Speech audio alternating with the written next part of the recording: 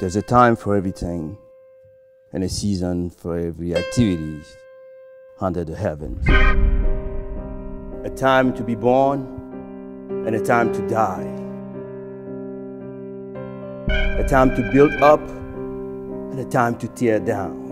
A time to be silent and a time to speak. A time to heal and a time to kill.